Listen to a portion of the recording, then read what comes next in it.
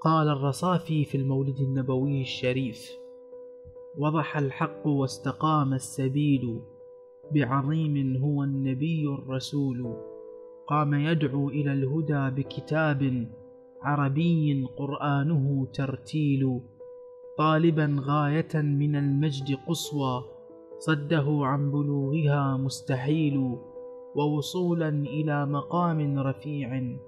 عز من قبله إليه الوصول همة دونها الكواكب نورا واعتلاء يعلو به ويطول جرد الله منه للحق سيفا كل ضدين حده والفلول فيه عزم للمهلكات قحوم واصطبار للنائبات حمول